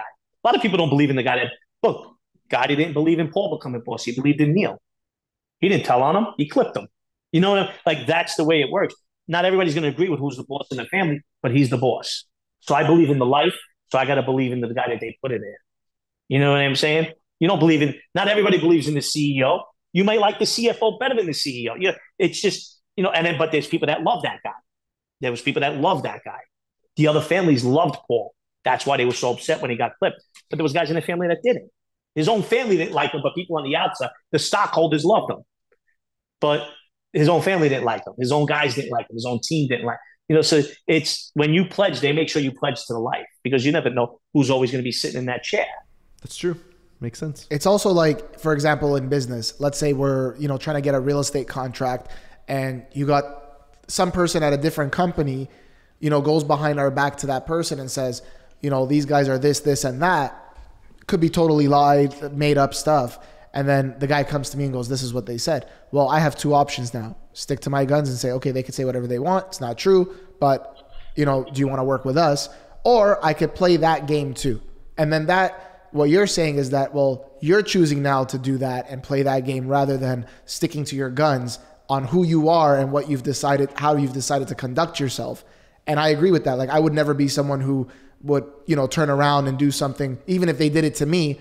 I'd say, whatever, man, turn the other cheek. I'm not like that. They, they're cut from that cloth. I'm not like that. And I think that's what you're trying to say here, just as a communism comparison. and democracy. Yeah. Yeah. Cuba, Yeah. Fidel's in, in control for 9,000 years. United States, presidents only get four years. You're not fighting for one person. You're fighting for Congress, the community, you know, the board of directors. Communism is you only you only worship me, not even God, not Jesus. You worship Fidel. That's so it's democracy. You just spoke like a democracy, not communism. Me, there's nobody higher than me, not God, not Jesus, whoever, Allah, whatever. Nobody's bigger than me. That's communism, and democracy is a whole. I'm going to take what I know. That's freedom. You don't have that in a communist country. You know what I mean? So that's exactly how the mafia worked as a democracy. It was a communism. Joe DeBois, Joe Masseria, they they wanted to just be one. They couldn't work together because they wanted El Duce. They wanted to be the boss, El Presidente. You know what I mean? So that's when they said, well, let's just make this a democracy and put a father at the head of all their families and then like a board of directors. That's where Meyer Lansky came in with the business approach. And that's how it's been run since the 40s. So yeah, 100% right. And that's democracy. Can never live in a communist country because it just doesn't work. Sounds good. I, I want to fire off. I know Danny's got another question, but I want to fire off some names. And then, you know, if you know them or what you know about them, maybe you could just a one liner about some of these these figures. Um, we've interviewed most of them, and I just want I want to know what you know about That's them. fine. So so let's you, you mentioned you know Sonny Franzese at the beginning, y- y- your family Right. knew him. What do you say about him? Sonny, Yeah, epitome of a gangster. epitome of a gangster. Probably, Wow. yeah. Between him and John, I don't think anybody was more gangster than either one of those guys. John Sonny's Gotti? the top. Sonny, yeah. th- Those guys were what they were and never ran from it. They lived how they were and they died how they were. They went to jail how they were. Not those, yeah, those guys. Is there's nobody more real in the life than a guy like Sonny Franzese, especially his longevity. Probably Sonny's the probably the epitome of a mafioso. Wow. Michael Franzese, his son. businessman, college kid, smart, did his time, never testified against nobody. And once that was over, he went into business. Like, you know, he was a business guy, smart, Nice. John Alite. killer, first hand knowledge, tough guy, tough with his hands, tough with a gun, type of guy that can uh, probably slit your throat and sit down and finish his own game. Wow. Okay. Street guy, straight up street guy. I don't know him as a mafioso, but street guy, Sammy the Bull. gangster. I don't care what anybody says about Sammy. I knew guys. Sammy was smart, cunning. If you weren't earning big money or killing people, he didn't have you around him. I knew three guys that were around Sammy. They were all killers. They all did time, 20 years, 10 years, murder, mayhem. Uh, he walked through Brooklyn. He walked through Brooklyn like a god. Like people feared him. He was a boxer. I remember guys didn't guys didn't want to get in the ring with him. I know tough guys that were scared of him. So you know, I, you hear things. Listen, I'm one of the biggest John Gotti supporters in the world, senior, and I was sick when Sammy did. He's a rat. He's this. He's that. Then you look at it with a more clearer head. Yeah, he did all of those things, but he was a gangster. He was in the streets. He killed and responsible for 19 bodies that we know. You know, he didn't keep people around him that were slackers. He was smart. He kept people around him that earned and that would kill for him. To me, that's what a gangster does. Paul Castellano. Great businessman. Didn't have a head for the streets, but a great businessman. I think that um, his family's still profiting off his legitimate businesses. He's lost. Uh, I think Western beef is something that he invested in, and he had something to do with letting Perdue chicken into grocery stores. He was just a businessman, from my understanding. Very good one. And shifting from the the mafia figures, you ever listen to a guy named Andrew Tate? Yeah, yeah, yeah. He's good for entertainment. I don't believe he's anything like he talks. I feel bad what he's going through right now. But I listen to Andrew, everything that he's done. I didn't like him as a fighter. I, I, I think he's very entertaining. I don't think he's anything like he says. In terms of like which way? you? Misogynist, Oh, you okay. know, that conceited, not he's probably a narcissist. I don't think he's a sociopath.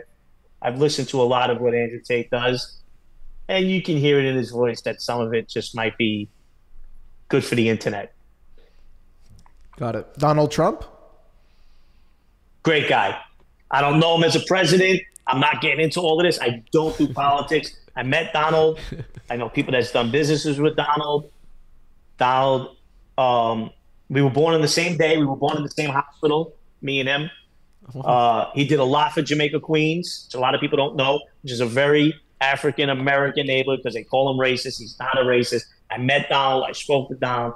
I know people that have done business with Donald. I've been all over New York when Donald was running through New York. Not a bad word to say about Donald Trump. I don't get involved in politics, so I don't want to hear about all this racist and everything else. He was great for the country. He was great, meaning business wise, you know, unemployment, jobs. The num- I mean, you just open up the paper and read the numbers. The numbers spoke for themselves. But anything else to do with politics, I, I don't even look at or read. One last one because I asked about Donald Trump. Joe Biden. I just don't think anybody that old should be in office. Anything enough. could happen. Parkinson's, all time. I mean, just look at the statistics after 65. They're incredible, and they increase every year after that. So I don't think anybody that old should be in office.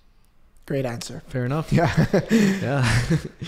Anthony, we always like to ask our guests uh, this question, and um, we're just curious to see, you know, what your thoughts are.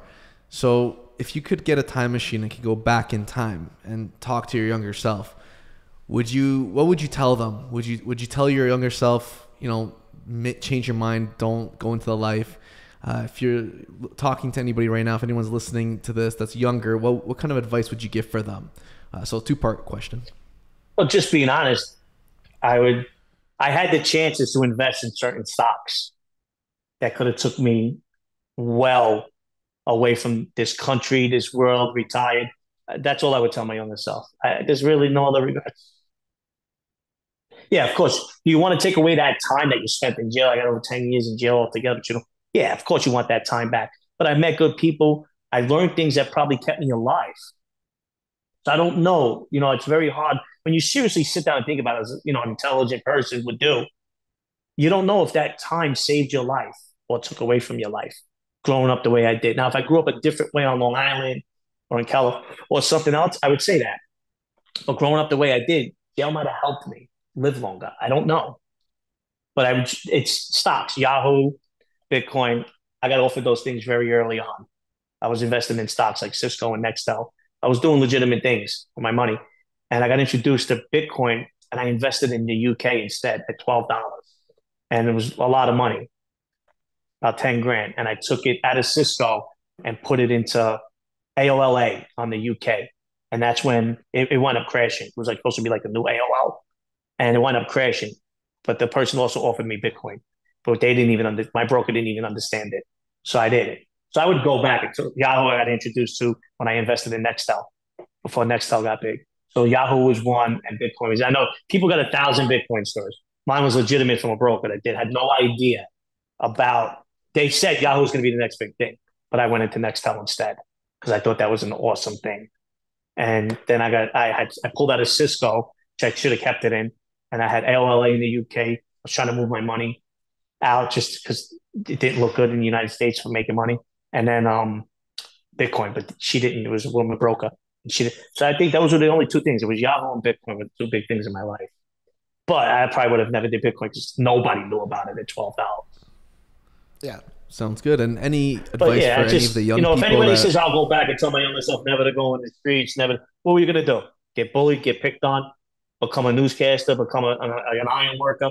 Come on, I you know, it's just you ever listen to somebody's answers and think in reality where you grew up and how you grew up, that's what you were gonna become. Come on, stay in school. We all stood in school. We all got educations. What does that mean? I don't believe in You're that. right. I'm a realist. That's the best I keeping can it be, guys. Yeah, Keeping it real, man. Real I talk. love yeah. You know, Uh, they're gonna come after me for. I don't commit crimes anymore. They can come after me for whatever they. Fair enough. And you mentioned your book. Do you want to leave our audience with a last message where they could connect with you, things like that? Oh, well, hey, Hootie two eight two, Hootie Social Club on YouTube. I, I really don't do too much promoting. Um, yeah, I mean, it's. I'm just waiting. I got a deal. I got it written. I got, you know, it's just not the time yet. Everybody writes a book. Everybody does this. Everybody. I don't want to be everybody. You know what I mean? I'm happy that I lived this long. I'm happy where I am in life right now. So, I mean, I'm not trying to. I'm not looking for the golden goose anymore. I'm good. Yeah, fair enough. All right. Awesome episode, you guys. Anthony, thank you for coming on. And guys, don't forget to like and subscribe and leave us a comment. Connect with us on IG, Matthew Ablakan, Danny Ablakan, and Anthony Russo. Thanks for coming on the show. Appreciate it, guys. Thank you. It was a, and it was a pleasure meeting both of you. Two gentlemen, very good communication, very professional, and I, I really do appreciate it. And uh, shout out to Carson, the editor, does a great job with the show as well. Thank you. And sorry, I, you know what? I didn't ask you. We could just keep keep this going, keep it rolling. How'd you get the nickname Hootie? It came from Hoot Nanny. I I used to I grew up around when I first started working in the wire room, 1991. I grew up around some real tough guys, and they used to break my balls. I used to have my shirt off. I used to think I was like, you know, Rudy Valentino, tough guy. I was like 40 pounds, and uh, they said, you know, say guys, you talk about if you shut the lights and rape you in this room. Like I had some real tough guys who put my fist through you. I said, I don't give a fuck. They didn't know my name. I just started coming around this area. And uh, I said, I don't give a fuck who nanny what you do. So I was in the park one day, I'm hanging out with a pretty girl, and they were like, Oh, look, there goes that Hootie kid, Cutie Hootie. And it came from Cutie Hootie. So Cutie Hootie stuck with me till I was like 18, and they called me Hootie, for short for Hoot Nanny. They didn't know my name. I just started hanging out. And a lot of years, I remember I sent one of them a, an invite, an older guy, mentor, like, first guy to introduce me to Peter Lucas. And I sent him an invite for my engagement party. I was very young at the time. And he went around asking people, who the fuck's this Anthony Russo? I, I- know the guy 10 years now, and he didn't know my name was Anthony Russo. The guys in the streets thought that was cool. Like, no, like if, you know, people tell on you, his name is Hootie. No one ever called me Anthony when I moved to this uh, 88 Park. No one ever called me Anthony. That was, I left that back in City Line. And that's a cutie Hootie came from that, and then Hootie. No, even people that started calling me Hootie in the light didn't know it was Hoot Nanny. They just thought it was Hootie. Gotcha. 1991. 1991, the year I was born. Yeah. There you go. Oh, there Oh, you go. thanks. I needed that. Holy shit. Thanks for making me feel old. No, you're good. You're good. Again, this was great. I hope you enjoyed it. Thank you for coming on the show. and Actually did. I hope I'm invited back. I had a great time with you guys today. in, Always. in person next time. We got to do it in person. Absolutely. I, they won't give me back my passport yet. We'll come to you. All right. Absolutely. Great, guys. Thanks again. Thank you, Thanks, Anthony. Anthony. Have a good day. Take care.